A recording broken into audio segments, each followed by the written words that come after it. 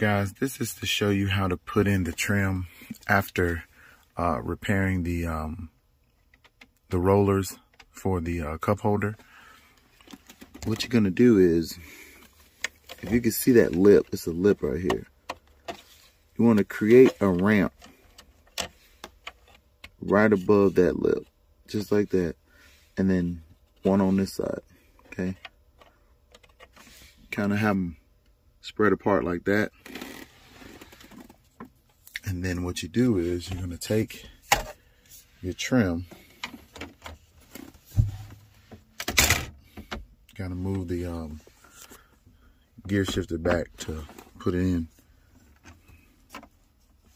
Now you put it in like this, kind of get it angled up the right way.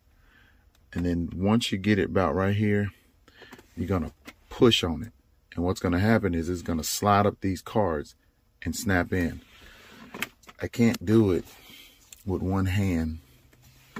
Uh, let's see if I can try to.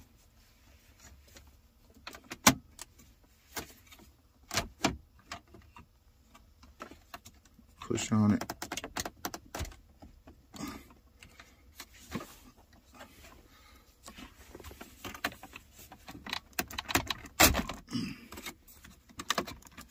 Get one side, one side's in.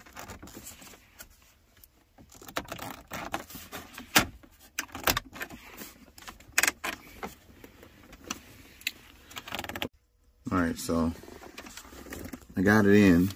As you can see, it's level here and level on the side over here. Now, like I said, this ramp right here is this is the only way you're going to be able to get this to go in. Um, you can pull these out now. And then after that, you just snap everything in. Start snapping everything in. Make sure you got everything lined up right way. See? So all of that's snapped in. And then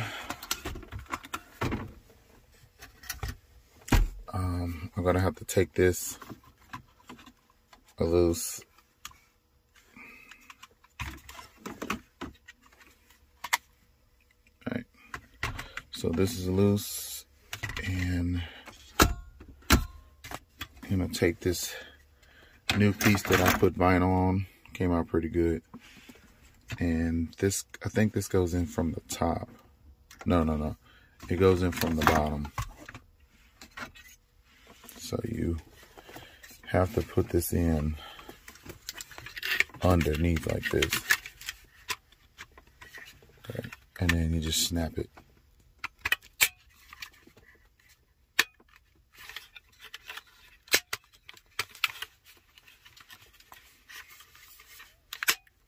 There you go. So that's all snapped in. Now you gotta plug it back up. Okay, go back. So now, what you're gonna do is you're gonna line everything up. It should just fall in and start snapping everything back down.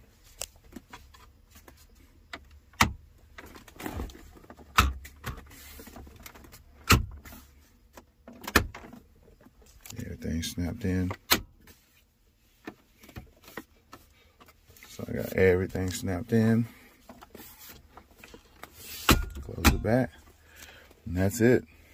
I know it was kind of shaky and hard to see, but I did get everything in. Um, I did repaint this.